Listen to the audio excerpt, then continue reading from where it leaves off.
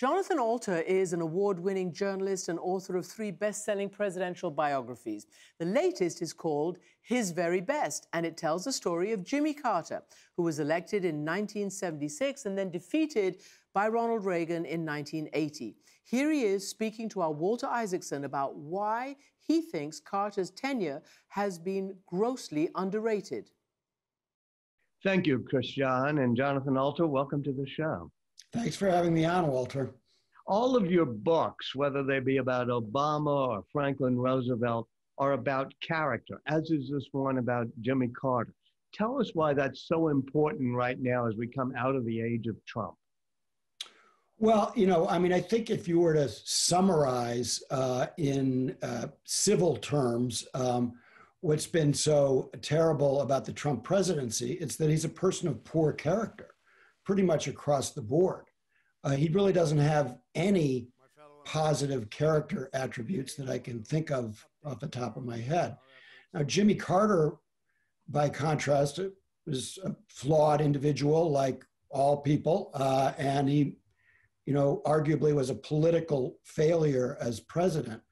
Um, but I argue not only was he a substantive success, but his character is a model for us moving forward, his core decency, honesty, accountability, uh, compassion uh, uh, can help light our way to a better place.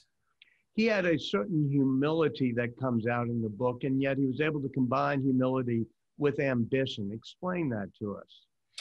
So, I actually don't believe there's any such thing as a humble politician. I think it's a contradiction in terms. Um, but uh, Jimmy Carter and his wife Rosalynn uh, who he's known for 93 years uh, since just after she was born. And, uh, and uh, Lillian Carter, Jimmy's mother, was a nurse and delivered uh, Rosalynn in this small town of Plains, Georgia, that they both lived in. The two of them are, uh, they, they I, I, guess they epitomize a, a sense of character and and commitment in in what they do. Pretty much, across the board. And, and so um, they live, just to take one dimension that does relate to humility, they live remarkably modest lives. I learned that uh, until, you know, the last couple of years when he's, he's had some health challenges as she has, and they're in their mid 90s now. Uh, Jimmy Carter mowed the grass at their church.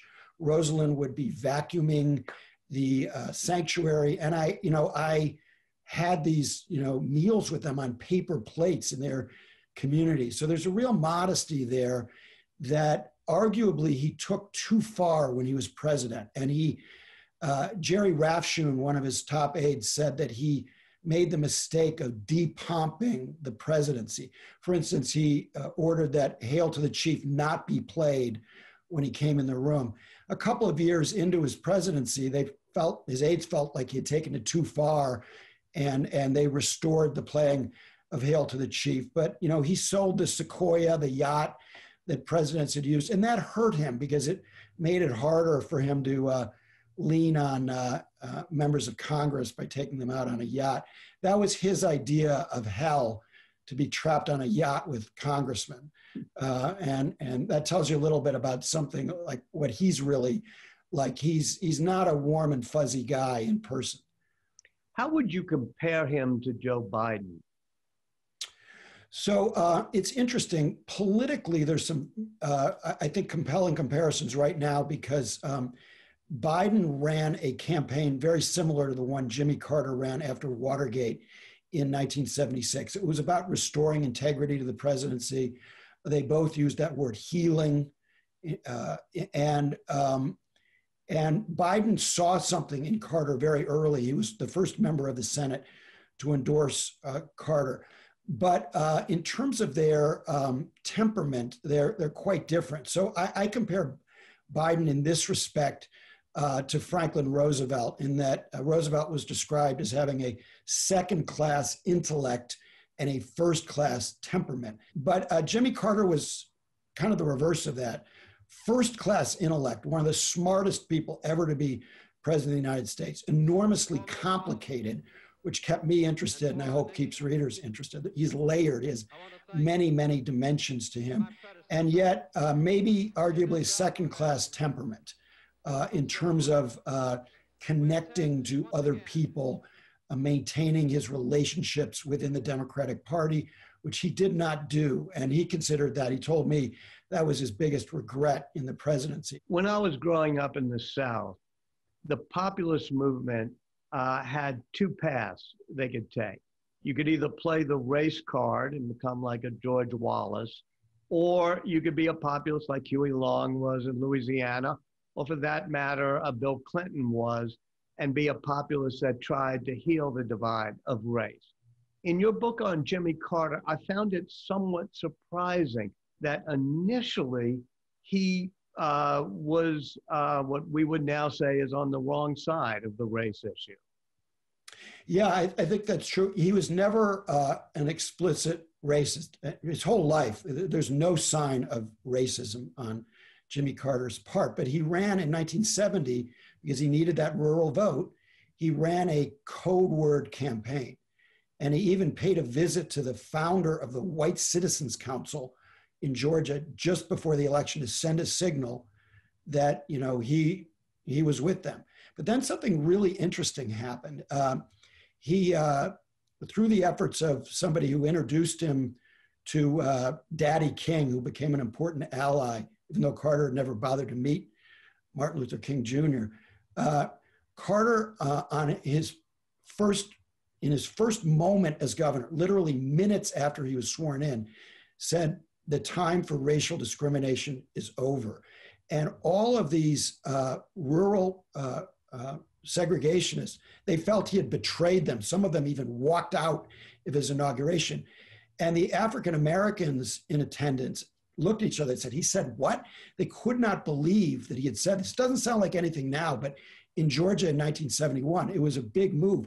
He lands on the cover of your old magazine, Time Magazine, as the face of the New South and he runs a very progressive uh, administration in, in Georgia and then in Washington, very progressive on race. And now in Africa, they named children after Jimmy Carter because he's done uh, so much for Africa. And, and, and but what he said uh, after George Floyd, I thought was very interesting. He said, you know, Rosalynn and I have learned over our lifetimes that silence equals violence. And they were silent too long because in the community they were living in, if they had spoken up, they would possibly have had their business dynamited, which is what happened to one of his uh, one of his uh, rivals in business. So he was in an environment of white terrorism, and so he kind of ducked the civil rights movement and then exploited it a little bit in that 1970 campaign. So he spent the second half of his life essentially making up for what he didn't do in the first half. And I argue that all of his amazing good deeds in the post presidency and much of what he did that was very important human rights while he was president. Uh, this is a form of atonement. It's driven partly by his faith, but partly by his sense of wanting to do better. Why does uh, Jimmy Carter have the reputation of being uh, a weak uh, and unaccomplished president? Um, so I think he's seen as weak, which he considers uh, to be the, the biggest misperception of him. I think he's quite uh, right about that. So uh, two things happened. First, the Republicans in 1980 did a very effective job of making it seem like he was weak on defense. He had raised defense spending by 5%, which is a lot. He had built the B-2 bomber that helped win the Cold War. He had, uh, you know, used soft power with his human rights policy to hollow out the Soviet Union. A number of conservatives, including Larry Eagleburger, who became Secretary of State, and Bob Gates, they credited Carter with helping win the Cold War with his human rights policy. But at the time, they were saying he's weak, he's weak, he's weak. Most, mostly because he would not bomb Iran. He didn't want it. He thought it would get the hostages killed. And then when he let himself get held hostage, essentially, by the Ayatollah, that created a perception of weakness that he was never able to get around. He did not do a good job of handling that whole situation, not because he was wrong in, in, in not bombing Iran. That would have been disastrous. But uh, because he had some bad luck with the Iran hostage rescue mission, and also he, he was unimaginative, and he he let he let them hold these cards. He paid too much attention to the hostages. And you remember, Nightline was originally called America Held Hostage. So that's going to create an impression of weakness. But when you actually look at him and talk to people who know him, they all talk about how tough he is. And he can be a real SOB. And, you know, when he was in Georgia, they called him Jungle Jimmy because he had such sharp elbows. And I don't think anybody who was ever on the receiving end of those icy blue eyes and that tight smile when he was that he used when he was mad at you would ever say he was in the slightest bit weak. But in American politics, if you put peace, if you prioritize peace, uh, whether you're president or former president, there are always going to be people who call you weak. And Jimmy Carter always put peace first. I mean, he's close to being a pacifist. In, in, in seeing war as the last option, this empowered him to be a really effective diplomat, not, not just at Camp David and, and uh, establishing uh, full diplomatic relations with China, which is now the foundation of the global economy. That was a product of Carter's diplomacy, the Panama Canal treaties, which prevented a war in Latin America. But every time you go for a treaty or peace mm-hmm. or improved relations, you risk being labeled weak by, uh, by hawkish opponents, uh, even if you've uh, you know, put theater nuclear weapons in Europe, which Carter, not Reagan, did. A lot of Americans, when they think of the Carter presidency, they think of very long gas lines. They think yeah. of inflation. They think of hostages in Iran. Uh, is he responsible for all of those things that are the most memorable parts of the year? Actually, no. He was swamped by events in 1979 and 80, and you mentioned them. But uh, he was not uh, responsible for those gas lines. Uh, you know, uh, the oil prices had increased 14 fold, not 14%, 14 fold in the prior decade. You know, so coming out of the 1973 oil embargo, this not only, you know, eventually led indirectly to those gas lines, but also to the rampant inflation the Carter experienced. Then what he did was he appointed Paul Volcker to be chair of the Fed. And Volcker jacked up interest rates over 15%. Can you imagine in it, being in a general election campaign when interest rates are over 15%? That's not even mentioning inflation and unemployment. And but Volcker's harsh medicine worked. It's just that Reagan got the credit for it. Uh, as far as the, the hostages being seized, um, that you could say was his fault in this respect. So um, Carter knew his instinct told him to not let the deposed Iran into the United States. And Kissinger, the Rockefellers, every the whole establishment is pushing them, pushing him, let him in, let him in. He was our big ally. And Carter at one point says, F the Shah you, you wouldn't imagine Jimmy Carter saying that, but like I talked to Harold Brown, the late defense secretary, and said, Yeah, I was rather surprised to hear President Carter say that about the Shah. So his instinct is telling him, Don't do this. Then the Shah gets sick, and the Rockefeller effort, uh, they pull the wool over Carter's eyes and they send this phony medical report to the State Department that the Shah cannot be treated for his cancer in Mexico, which was completely untrue. And so Carter, on a humanitarian basis, makes the worst decision of his presidency, and he lets the Shah into New York Hospital to be treated. He's only in the United States for a short time, but he lets him come in. And just days later, these radical students in Tehran seized the hostages at the U.S. embassy, and that, you know, did as much as anything to wreck his presidency as you say, we most remember Carter now for the post presidency. Is that a bit overrated, or has it been an important redefinition of a post presidency? Well, uh, it's um, both. So um, Jimmy Carter revolutionized three things. He revolutionized the vice presidency. He was the first president to ever give his vice president, Walter Mondale, any responsibility, put him in the military chain of command, give him an office in the West Wing, and many other things.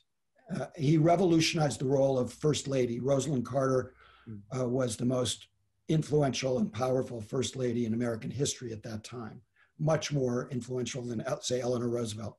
Uh, and then after he left office, he revolutionized the post presidency. Very inspiring work that he has done. Not so much building houses, because he doesn't actually run Habitat for Humanity. He does that one week a year.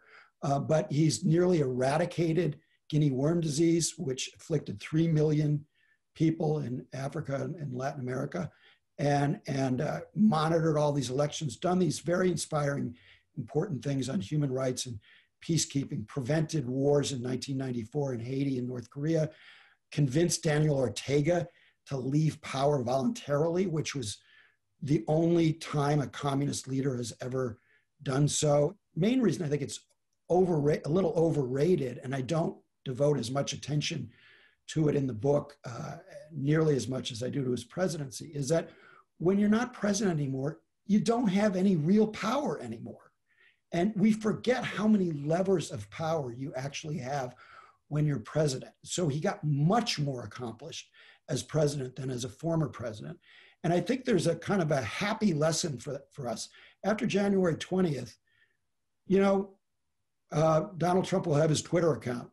Maybe uh, maybe they'll get smart and cancel his account, but he'll probably still have that, and he'll be able to you know make noise, um, but he won't have any power, and so it'll be like a, you know Macy's Day balloon. You know you'll see that power hissing out of him, and uh, so that's why I think his post presidency has been overrated, and and also I just kind of um, you know, I wanted to, and I think I did, uh, convince uh, people that um, this sort of easy minded shorthand, uh, no good as president, great afterwards, uh, just didn't bear scrutiny. Jonathan Alter, thanks for being with us. Thanks, Walter.